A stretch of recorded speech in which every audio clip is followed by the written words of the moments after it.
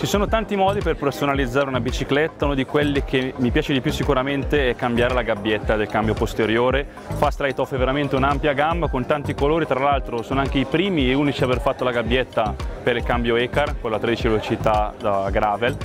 la loro particolarità è che hanno un rivestimento della dentatura due, eh, dei due pignoni presenti nella gabbietta estremamente duro eh, che sembra quasi come quello delle forcelle da mountain tipo il Kashima coating, che permette di ridurre l'attrito, quindi perdere meno potenza, allo stesso tempo anche eh, ridurre l'usura dei componenti, quindi un'ottima soluzione, tutto fatto in uh, alluminio in CNC.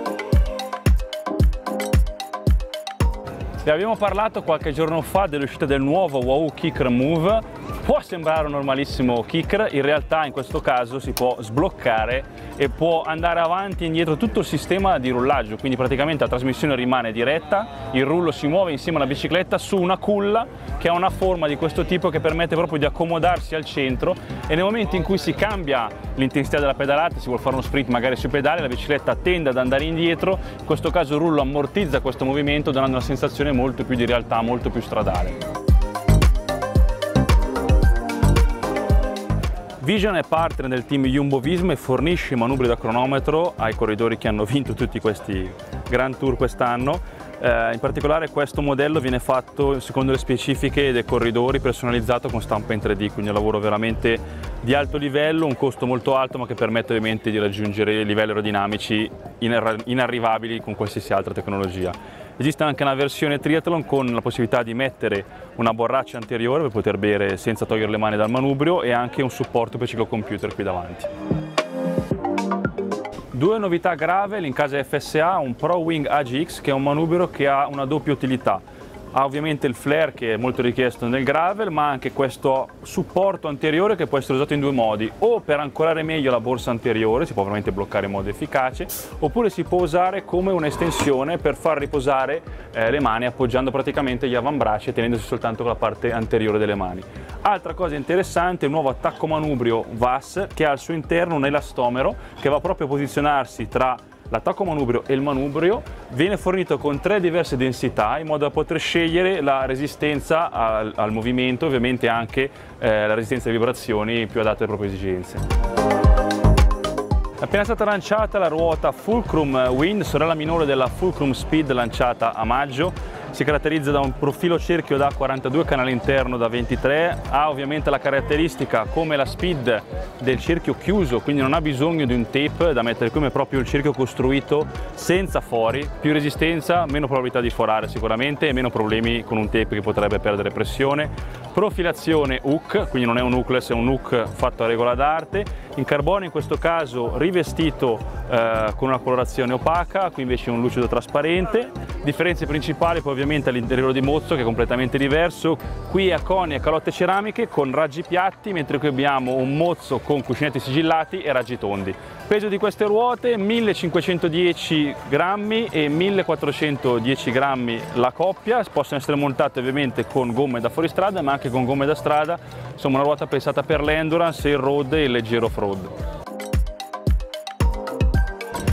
La sella Cadex AMP l'avete magari già vista in alcune delle Pro Bike che abbiamo portato sul canale, magari quella di Michael Matthews, in realtà è disponibile all'acquisto da sole due settimane, un modello nuovo di Cadex molto leggera, telaio tutto in carbonio anche nella parte dello scafo, non solo nella parte del rail, quindi un bel progetto molto resistente che non andrà poi a sfondarsi nel tempo come succede con le selle più economiche in plastica. È stato lanciato anche un nuovo attacco manubrio eh, in questo caso rispetto ai modelli Junt è pieno, quindi se si vuole cambiare lunghezza attacco bisognerà per forza tagliare la linea freni nel caso di passaggio cavi integrato. Ha due particolarità interessanti, la prima è che ha soltanto due viti che chiudono la parte eh, anteriore del manubrio, qui invece c'è una specie di blocco che, su cui si inserisce la parte anteriore che blocca la piega. La seconda cosa interessante, qui di solito c'è una vite che eh, mette in pressione tutta la serie sterzo, in questo caso invece c'è un coperchietto che nasconde la vite posta in questo caso sotto che andrà poi a chiudere tutta la serie sterzo, quindi una cosa molto elegante e anche molto leggera e bella da vedere.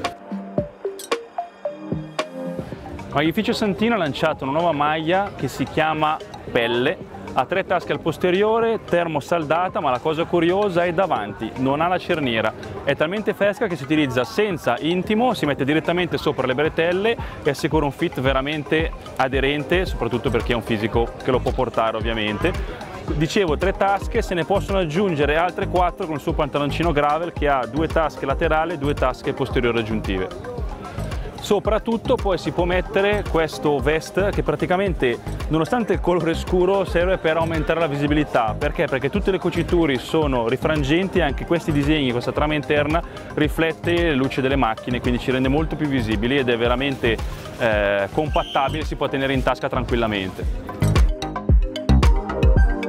tubolare, copertoncino, copertoncino con camera in TPU, tubeless e infine tubeless con inserti speciali che sostituiscono una parte dell'aria con una schiuma che permette di continuare a pedalare anche in caso di foratura. Sono molto conosciuti quelli del settore fuoristrada, però sono nati anche per il gravel e ancora più piccoli per la strada con questa forma esagonale. Vengono utilizzati soprattutto nelle classiche del nord dove c'è il pavé, dove è veramente importante riuscire ad uscire di un settore di pavé prima di poter cambiare la ruota. Pirelli lancia l'evoluzione della sua camera d'aria speciale P0 Smart Tube che appunto si chiama Smart Tube Evo è una camera d'aria speciale che permette di abbassare di un watt eh, la resistenza al rotolamento, quindi intorno un 5% a velocità gara, insomma. È una camera d'aria pensata proprio per le corse perché ha una tolleranza che va da 25 a 28 mm come sezione del copertoncino e pesa 40 grammi con versione valvola da 80 e 35 grammi con versione valvola da 40. Svat Club ha un'idea molto chiara di agonismo, per loro si usa soltanto il body, le tasche spariscono per lasciare posto al numero gara, così così si evitano anche le spille, tanto i carbo si prendono solo dalle borracce e quando ci si veste la mattina bisogna mettersi davanti allo specchio e cercare di assumere il più possibile a VDP. Se volete portare con voi la vostra bici in aereo per portarla in vacanza o cambiare luogo di allenamento è indispensabile una buona borsa da viaggio specifica per le biciclette. Esistono rigide come in questo caso, qui addirittura viene mostrata con un frontale trasparente per vedere come viene assemblata la sua bici all'interno. La borsa rigida ha il vantaggio ovviamente di proteggere bene ciò che contiene, però lo spazio è un pochino più bisogna veramente incastrare tutto alla perfezione. L'alternativa è una borsa flessibile come questa, che però ha un telaio rigido in metallo su cui viene fissata la bicicletta, viene poi chiusa con questa copertura morbida, però che viene protetta a sua volta dalle ruote che fungono un pochino da scudo e al cui interno si possono mettere tante altre cose, quindi eh, sacca portatrazzi, piccole borse, il casco, le scarpe, una pompa, quindi dà un pochino più di spazio a fronte di un pochino meno di sicurezza a livello di tenuta dagli urti, anche se comunque viene protetta molto bene anche in questo caso.